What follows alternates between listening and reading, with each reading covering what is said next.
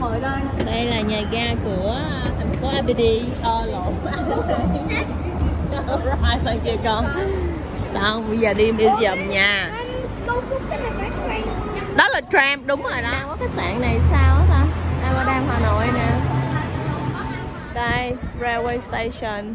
Ở dưới là railway station ở trên là casino. Thì chỗ ông Yên làm hồi xưa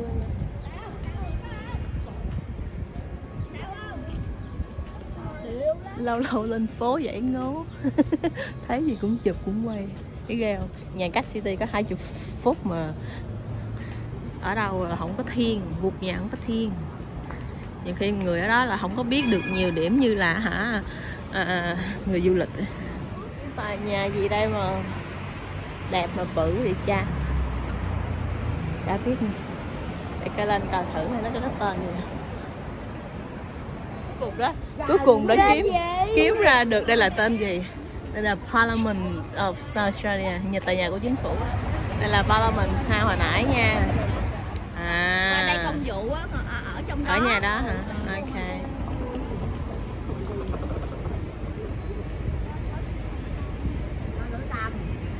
Hồi xưa bác lê văn hiếu ở đây nè là cái người mà toàn quyền của nam quốc mà được uh, mà nữ hoàng elizabeth á.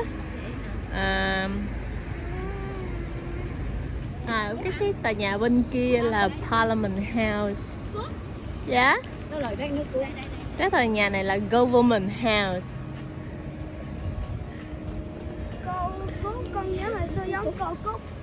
đây cái nơi này là thường là tới cái ngày Anzac đây là ngày 25 tháng 4 hàng năm á là là tưởng niệm những người lính Úc hy sinh ở chiến trường á.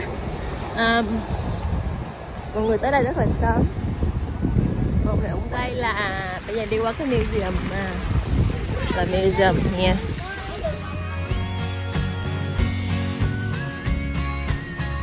Đây cuối cùng cũng tới. South Australia Museum. Đây bảo tàng của bạn Nam Úc Adelaide sorry. Đó, xương khủng long đồm lum la hết nè. Đó đi qua đường này có gì.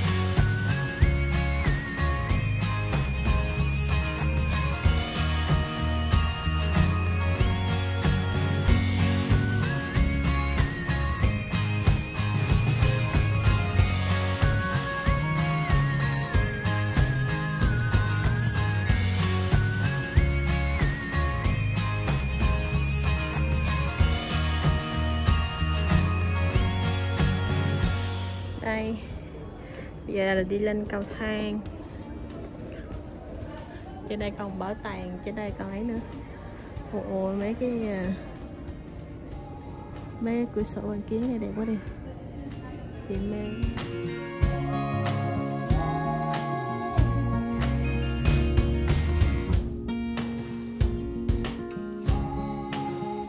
Cô chút xíu Mình đi museum khác. Ừ lát nữa đi đi thêm là mình biết thêm.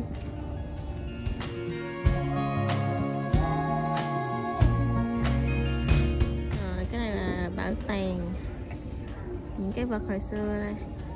Cái này có giống như cái nhà sàn nhà rông của Việt Nam không ba mái mái cao. Mà cái này là mô phỏng chỉ một phần ba diện tích thôi. So với thực hiện à, thực tại thôi.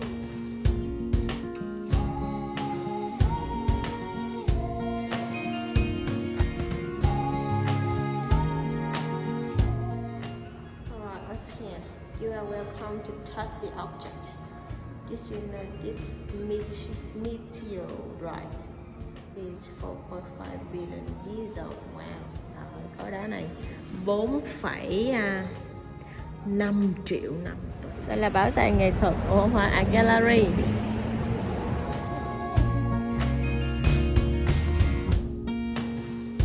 Rồi cái thuyền hồi xưa nè.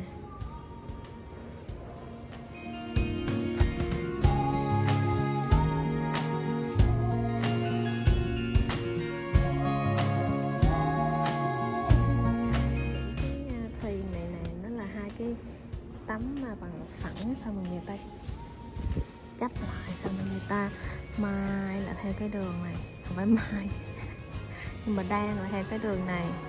Xong rồi đang là theo cái đường này? Đó. Đó. Bên kia cũng vậy. Nó vậy xong rồi người ta sẽ neo hai cái cây này ở đây để cho nó giữ cân bằng. Mấy con ốc ở trong là chỉ để trang trí thôi. Đi qua một cái ờ, khu khác trời ơi sao mà đẹp quá vậy? Chắc hôm nào rảnh là phải đi lên Adelaide CBD một lần nữa quá. Ôi, trời ơi, đẹp quá à. hôm nào rảnh sẽ đi lên đây nữa. Đem theo máy chụp hình chụp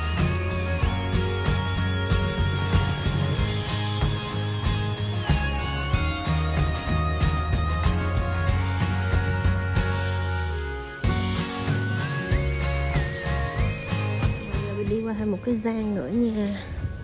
Trời ơi đẹp quá má ơi. Đẹp quá đẹp quá đẹp quá Cái khúc này là thiên về à, tôn giáo. Là có thêm cái uh, nhiều cái tác phẩm nghệ thuật của người indigenous Đây người ta bỏ cái uh, người ta khoan cái thân nó vô á.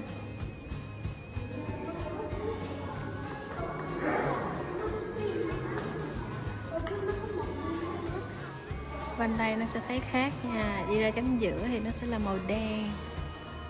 Xong rồi qua bên đây nó sẽ phản chiếu cái phòng màu hồng. Này cái này là nó là cái, cái phía trước đó là cầu. Nửa cầu nó là một cái cầu nhưng mà ở phía sau nửa phía sau là người ta tô nó màu đen. Nên cái tác dụng của nửa cái cầu trước nó sẽ là tấm gương phản chiếu của hai bên. Ờ. À. Đây là Ủa, cái này người ta kỳ công lắm mới làm được đó nha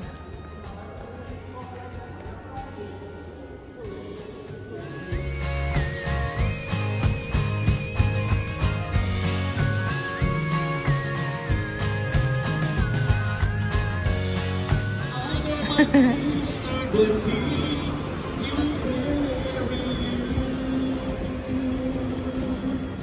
đây là tới à, uh, Rindamo Mall rồi nè. Cái chỗ này là chỗ trung tâm mua sắm gọi là sầm uất nhất Adelaide. Đó. Đây là Adelaide Arcade thôi, nhà này cũng lâu năm lắm rồi đó. Thật bao nhiêu năm không biết nữa. Khi nào